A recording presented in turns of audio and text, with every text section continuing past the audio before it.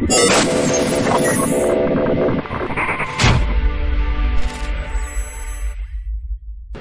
do y'all know what time it is, everybody? It is beer and bait 30. So uh, I have some Yuengling traditional lager. It's America's oldest brewery out of Pottsville, Pennsylvania, 1829. Before I discovered uh, Deutsch beer, this was my favorite beer. In fact, my nickname was Ying, um, short for Yuengling, of course. And I'm happy to drink this when I can't get the real German stuff. So today we're going to do an easy color. This is another popular colors, Red Bug. And uh, it's a really pretty color. It makes a killer trick worm. Uh, we're going to make a couple other things with it. Um, this is the kicker worm from Angling AI. Those guys over there. Um, this is a really great bait. It's like a dual. It's it's like a two tail speed worm. Um, I'm going to make it in my Candy Cane Junior, my seven inch ribbon tail. Obviously a trick worm, and then we're going to make a Senko, a stogie. So red bug is really easy. It's just two parts. It's red bug color and green glitter, and you can choose whatever size you want. Some people go all small, uh, the, the the point point zero one five. Some people kind of mix more uh, more more different sizes. Uh, anyone who watches my channel knows I'm a, I'm a big fan of texture when it comes to glitter. I like to have multiple different sizes of flakes um, whenever it calls for it. So we're going to do some red bug. First, we're going to crack a beer, and uh, and then we will get started. This is World's Worst Fishing, Popular Colors, Red Bug. Okay, so red bug, like I said earlier, very, very, very simple, especially if you have red bug color. Now you can use um, you can use some some other red colorants if you don't have red bug. Um, to me, it's a little bit darker than just straight like red or fire engine red. So, oh, well, it's already dropping out here. Um, this this particular red bug is really thick. My normal recipe is 40 drops. Um, I kind of lost count because it kind of went everywhere. So we're going to do what I think is about 40 drops. And the reason I actually try to measure this out exactly is because it's so thick. Um, so that's probably actually a little bit less, but that's okay. You can always add more. But um, back when I was doing like actual recipe books and really paying attention to how my colors came out, um, it was 40 drops. So you can see it's not a bright, bright, bright red. And that's one thing I like about Redbug. It's a darker red color. And, uh, and just keep in mind, guys, or guys and gals, sorry, that whenever you're using red colors, most of them bleed really badly. So once I demold these these baits, if I were to lay them in the same tackle tray as other colors, they're going to be stained red, and it's going to happen quick. Um, a lot of red bleeds. I know MF Manufacturing makes a red color that I have that does not bleed hardly at all.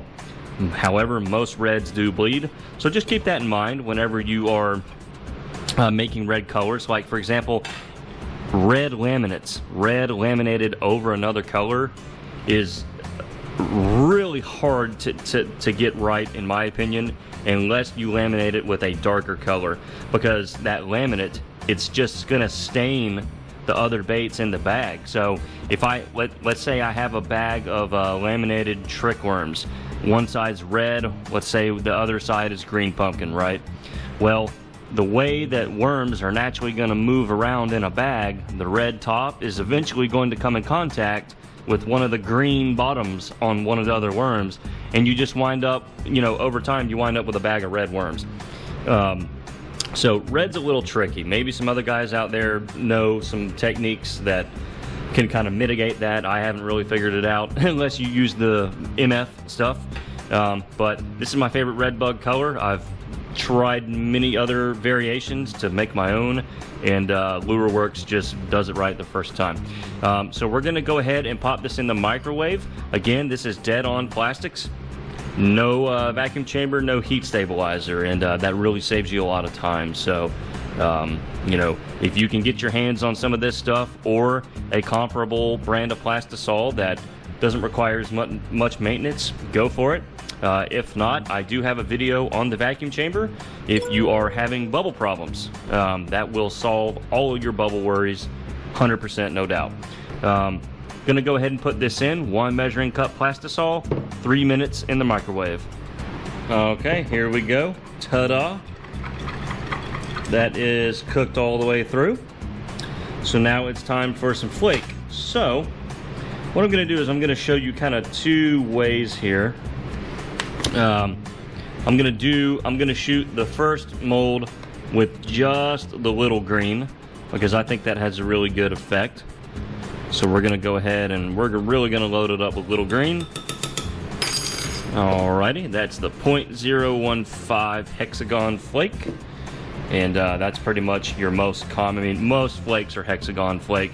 You can get the square cut. Um, you have to be a little more careful with the square cuts with temperature because they will fold up just I think the natural shape of the square. It's it's a little more prone to problems in the heat. Um, but you know, for guys running injection machines or anything like that, that's not as much of a problem. But um, we're gonna add just a smidge more, and because Redbug is such a, like I said again, um, because it's a darker color, um, you have to add a little more flake, I think, to really make it pop because just the darkness of it can kind of hide some of the glitter. Okay, so that's what we have. So we're gonna go ahead and we're gonna shoot those uh, uh, trick worms, or sorry, the uh, the, the speed worm type mold, the uh, the kicker worm. So we're gonna do that just with the little green. And then what we'll do is we'll let those dry up. We'll put the sprue back in the cup here. We'll, we'll get everything remelted and uh, and then I'll meet you back here. Yeah, look at that. Isn't that cool? And then we'll add a couple other sizes to give it some texture and we can all see which one we like better. All right, just real quick, there is the red bug with just the little green and uh, we'll get a better view of those later. But uh, I have the sprue heating back up in the microwave and then we're gonna go ahead and make the rest of the baits for tonight. And we're back. So, Time to add some more green flake, only this time we're gonna add some different sizes. So we're gonna do it basically like we do June bug. I'm gonna put all three green sizes in here. So there is the medium green. Gonna dip out a little more there. Then we're gonna do the big green, which I just absolutely love big flake in in uh, in colors especially when it's combined with other sizes. I don't really ever do it just by itself, but uh, I guess you could, probably in like a big swim bait or something like that. All right, so we're gonna go ahead and, and uh, weeble wobble that glitter in there real quick. There we go. Get it all nice and mixed in. And um, that's kind of what we have. Let me tilt a little bit. Now, I don't know if that helped at all, but we're gonna go ahead and shoot the worm and the trick worm, or uh, we're gonna shoot the ribbon tail worm and then the trick worm, and then we'll take the leftover plastic and we will um, add some salt real quick and, and, make some stogies at the very end. Just that way the stogies look uh, authentic because you know the salt does change the clarity of a bait uh, substantially. All right, looking good there. My uh, trick worm mold is a flat, uh, it's called a flat worm. And uh, I think it was originally from Bass Tackle. I don't know if it's still offered from Bass Tackle. Bass Tackle used to have uh, a couple owners and then some of them split. There was a brand split or whatever you want to call it. And so some of the Bass Tackle molds that used to be on their website are no longer there. But I'm pretty sure that one originally came from Bass Tackle. And I love the worm. Don't really like the mold. It uh, it draws in a lot, and the first cavity, the top cavity, you almost always get a little air pocket in the nose if you don't top it off. I have to usually top it off twice, but that's the price you pay sometimes. Not every mold is perfect. And seldom molds, seldomly do you find a perfect mold. So that's just part of the game is learning uh, your molds. Some are going to be stingy. Some are going to be no problem. I mean, my uh, my ribbon tail worm molds, those are um, those were bass tackle molds, and they are some of my favorite molds. I don't have to baby them; they work every time. They don't ever dent, and I I only have to top off once. So um, some molds are just really simple, some are not. We've kind of discussed that before, but uh, I think these are going to look good. We're going to go ahead and let those set up, and then we'll make some stogies. Okay, so uh, for the stogies again, fine salt. Now Lureworks makes the uh, well, I don't know if it's the best salt. It's my favorite salt.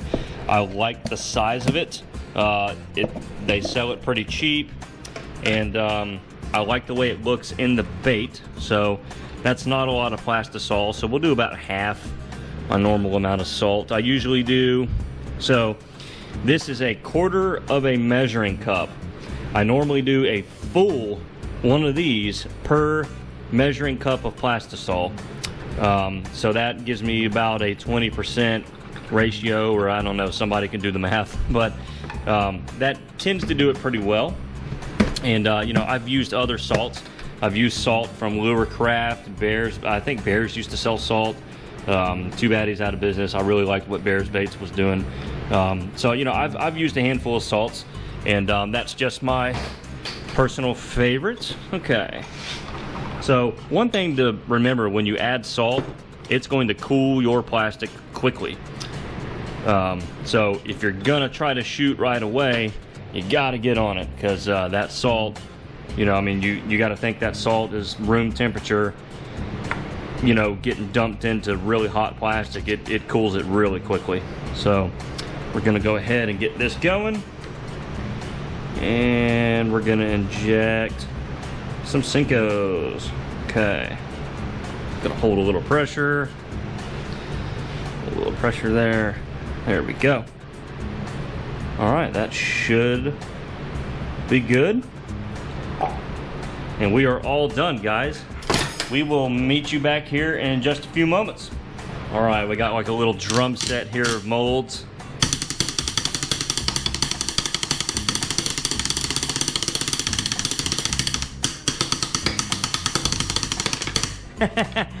See if I can do the sweeps here.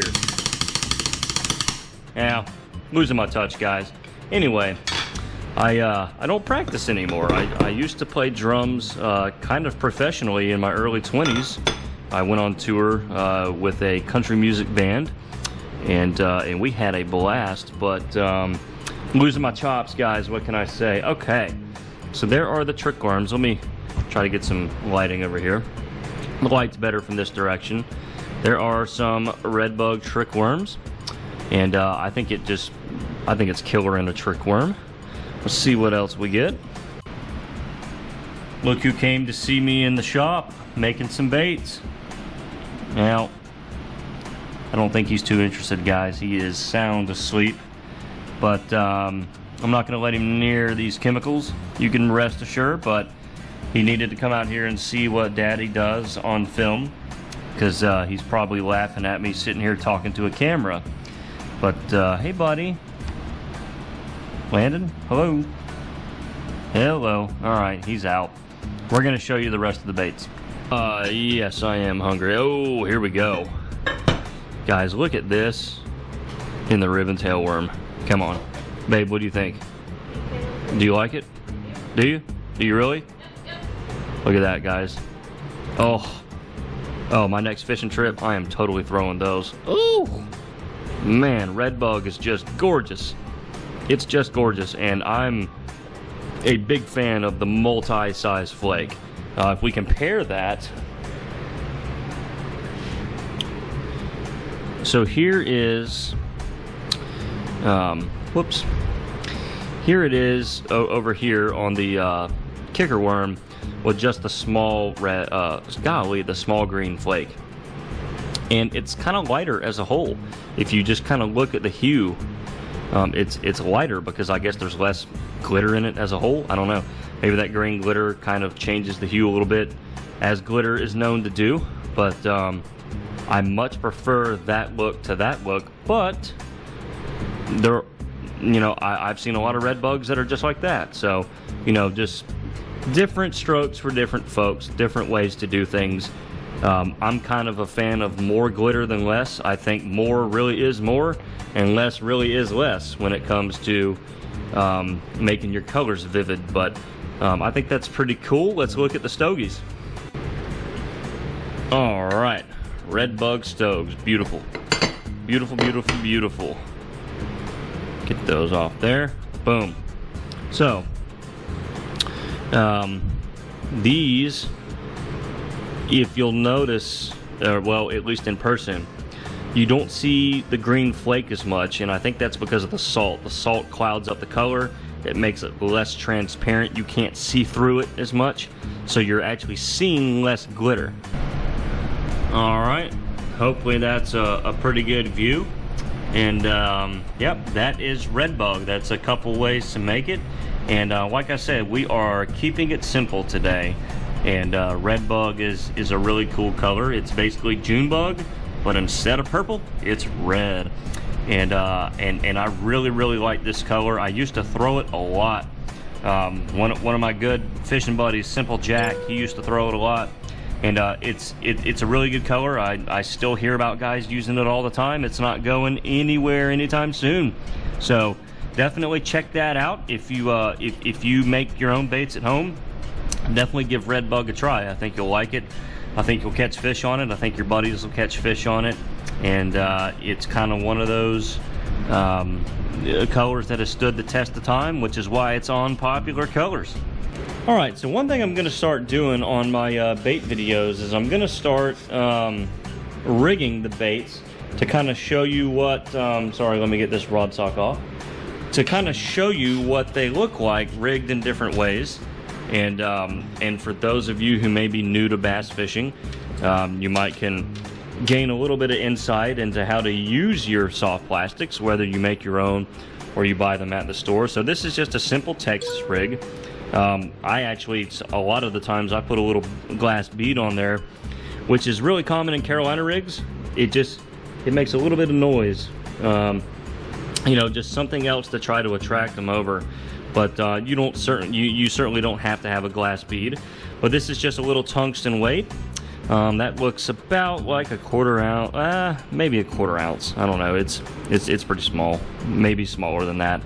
But um, I like so if, I, if I'm just gonna throw a Texas rig worm I like about a four or five aught offset shank wide gap worm hook which is exactly what that is so for just a Texas rig, and you'll find a lot of baits are really Texas rigged at the end of the day. Um, even on a Carolina rig, you still Texas rig the worm. Uh, it's just the weight is pegged up above. So basically just going to go in the nose here, and we're going to go exactly to where the hook starts to bend. And then we're going to push that, uh, excuse me, we're going to push the hook point out and then we're going to feed the rest of the shank of the hook down through the nose past that little uh, gap there and we're going to sink it all the way in and kind of rotate it and we're going to pull it up to where that little offset shank now sticks out and you'll see the hook kind of naturally flows up even with that side of the worm and that's what you want. You want it to sit like that so in order to achieve that you need to push it up a little bit and you'll get the hang of this over time. I'm still not perfect at it. Push the hook point out, kind of push the worm up a little bit, and then skin hook the nose, or excuse me, skin hook the uh, the tip of the hook. And there you have a perfectly straight Texas rig. And uh, yeah, so that's what the red bug uh, ribbon tail worm looks like on a Texas rig. And uh, that is ready for action, guys. Well, guys, I hope you enjoyed this episode. Uh, again, some popular colors are really simple, and some simple simple colors are the best colors. Um, you can already see now that I've added some oil. I don't know if that's coming through. You can see the red bleed. Um, so, unfortunately, a lot of reds bleed, but that's just how it goes. And uh, I've come to expect it. It is what it is. Um, I don't have a problem with it. You know, as long as I know not to mix these with other baits, uh, I'm generally good to go. Um, it's it's, it's kind of like not mixing 3X plastic. You know, the really stretchy stuff. stuff. Uh, Strike King came out with it years ago, like when I was in high school. The Zulu, or the Zulu, the Zulu was their fluke, but it was that 3X plastic. If you put that with regular plastisol, it's just going to melt and become a big mess. Um, So you kind of have to treat red baits like that. Um, maybe not all red baits, but in my experience, most red baits. But that is red bug. Really, really simple color. Definitely try it at home. Um, it's it was one of the first colors I ever made, and um, you know it's it's kind of it, it's an easy one to, to learn really quick. You'll pick it up immediately, and um, you know you can probably have some fun, add some different flake to it. You know maybe do some split tails, and uh, you know really kind of make it your own. But um, that's going to wrap it up for today's episode. Um, thank you guys so much for tuning in. Shoot me a comment down below. Let me know what you think about Redbug. Um, and please, more ideas for more videos. Uh, new colors, um, popular colors, custom colors. Um, I'm going to try to go fishing. Just it's a little difficult with a newborn. Um, I'm hopefully going to go this weekend, but uh, you know, life life doesn't wait sometimes, and uh, you know, having having a week old uh, child in the house, um, he has to come first, which not a problem there. But hopefully we'll go fishing soon and we can bring you some more content. Um, but you know, let me know if you want to see some other types of content. You know, I can do tackle reviews. I can do, um, you know, I, I can do rigging. We, we can we can show people how to rig baits. Um, I can try to incorporate some of my other fishing buddies, get them on camera, and let them talk about how they like to rig certain baits and and how they like to use them. So, you know, there's a lot of other things we can do. Um, you know, plastics are one of my favorite things, always. But um, anyway, I'm just rambling at this point. But um, yeah, got us got us a big uh, got us a big DC-9 coming overhead or airplane or whatever that is. But um, anyway, again, that's going to wrap it up. Thank you so much for watching this episode of the World's Worst Fishing, and we'll catch you next time.